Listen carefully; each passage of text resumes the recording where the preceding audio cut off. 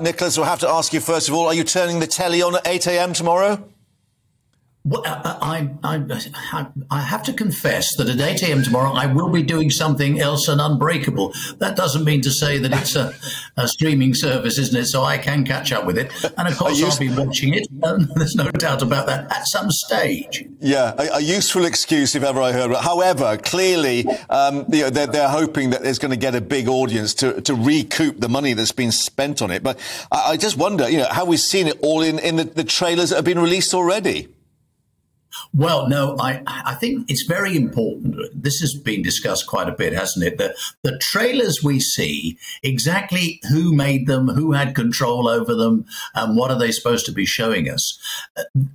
In the newspapers the last few days, I've been struck particularly by the way that several correspondents, very, very uh, skilled people at going through the history books extremely carefully, uh, have found all sorts of instances where pictures were used against other pictures, giving a rather false impression of what was going on. You know, Meghan being mobbed. Well, actually, no, it was somebody else being mobbed.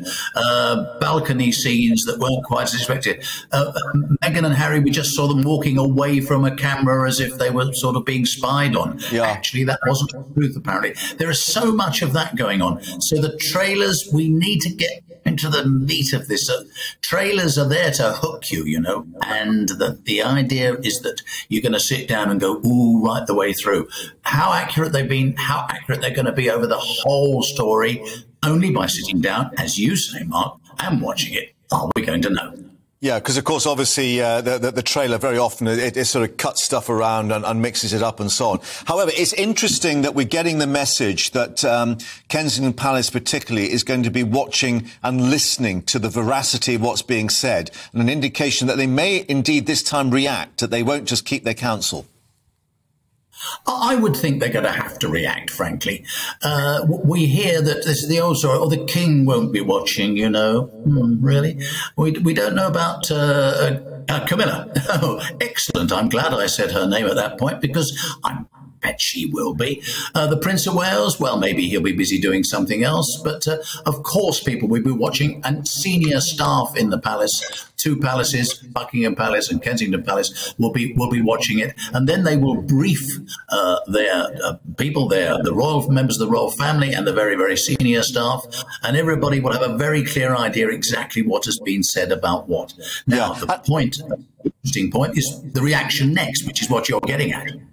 Yeah, and, and the, the, difficulty being, of course, with these allegations about stories being leaked and planted and so on, that many of those staff can't go public and give what they believe to be the real story because they've had to sign these confidentiality agreements.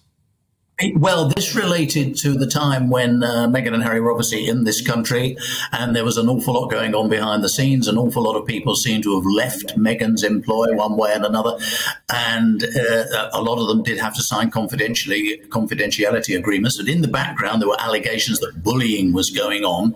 It does make it all very difficult to get anywhere near the truth. The point about this series is that it is said to be the Wales's own truth, and that's going to be an extremely difficult difficult thing to unpick as we go along.